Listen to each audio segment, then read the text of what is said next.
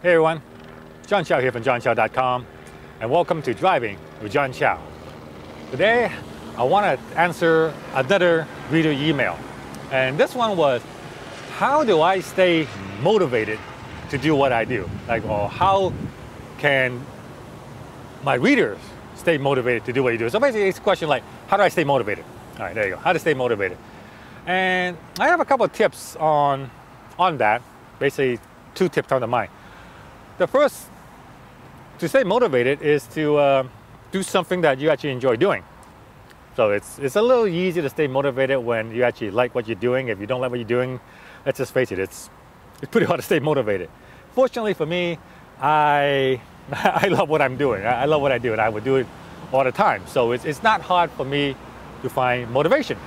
So if you're blogging and you have a blog, I this is why I recommend that you should blog about something that you're actually interested in and have a passion for. Because if you don't, odds are you're not gonna stick around long enough to see it through. This blogging isn't a get rich quick scheme. You know, you have to go at it for quite a while in order to build up a readership. And it, it like first eight months of my blog's life, I made zero, absolutely nothing. But I like blogging.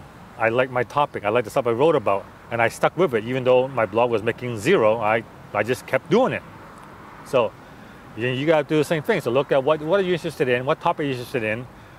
What topic can you do when you blog about that might pay you nothing but you just like it? So that's the first tip of staying motivated. Do something that you actually enjoy doing. The second tip is to set a goal for yourself. Like have a goal on what you want to accomplish. And I, I did a video on, on proper goal setting. You may want to check back on my YouTube channel to see the video on how I do proper goal setting. But in essence, what it, well, how it is, is to, uh, you set an end goal, like how much you want to make, like say $100,000 in this year, or next year, or next 12 months. So say you want to make 100,000 bucks in the next 12 months, then the next step is to break it down. How much is that per month? How much is that per week? How much is that per day? And once you break it down, like how much that per day, you gotta look at, okay, uh, how much traffic do I need to make that much money per day? And then you look at, well, you analyze like the different ways you can monetize your site. And you look at, well, what do I need to do? How much traffic do I need to do to make that much money? And then, and then how do I, what do I need to do to, to get that much traffic? And you work that way. And then uh, by breaking down the small little chunks, it becomes something doable and actionable. Like if you were just to say, I want to make 100,000 bucks, okay, where do I start? Well, when you chunk it down, you realize that, okay, in order to make that much, I need to do one blog post a day, I need to put out one YouTube video a day, then I need to share that video on Facebook, I need to, I need to buy this much traffic, that kind of stuff. So that's uh, another tip for staying motivated. You gotta have a goal. And the third, my third tip is you need to reward yourself along the way. See, I like to, hmm, cool car. Sorry for that. Yeah, what was I?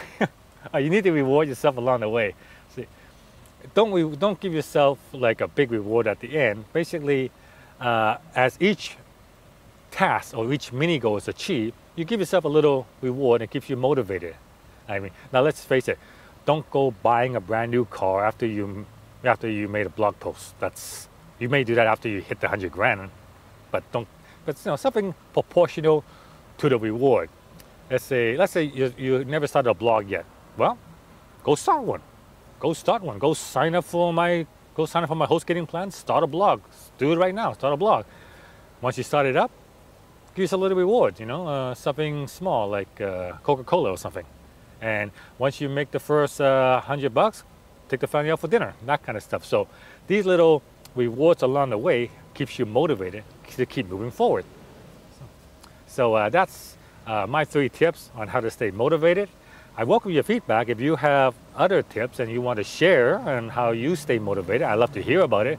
But those are the three things I use that keeps me motivated. I Basically, uh, I like what I do. That's, uh, this is my interest. This is my passion I'm passionate about. So I don't need that much motivation to do it. I have a big end goal in mind. And I also break it down into what I need to do every single day to achieve this goal. And I reward myself along the way, you know, with uh, various rewards and stuff that uh, for myself and my family. This is John Chow from johnchow.com. Uh, please subscribe to my channel. I welcome your feedback. I'll see you guys tomorrow.